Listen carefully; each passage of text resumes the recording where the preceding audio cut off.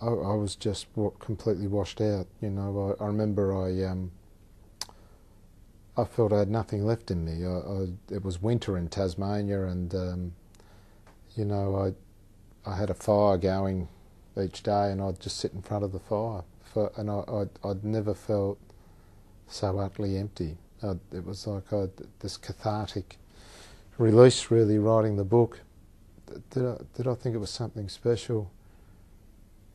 I think I just thought I'd put everything I could into it, and there was nothing left of me. And um, you never know with a book what, whether people will like it. It's an arrogance to think that you've done something good. That's for the reader to decide. I mean, all you can know is that you've um, uh, given your soul to it, I suppose, and um, done your best, and you know, hope, hope people like it.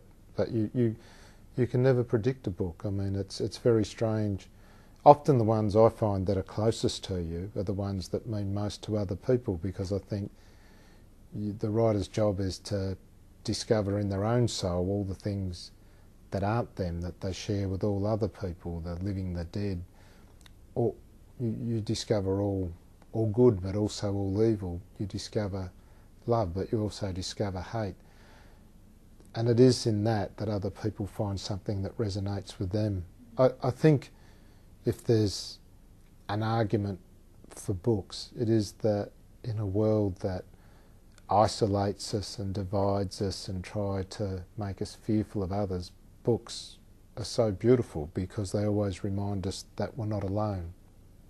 And that's what I go to books for, and that's what I love so much in books.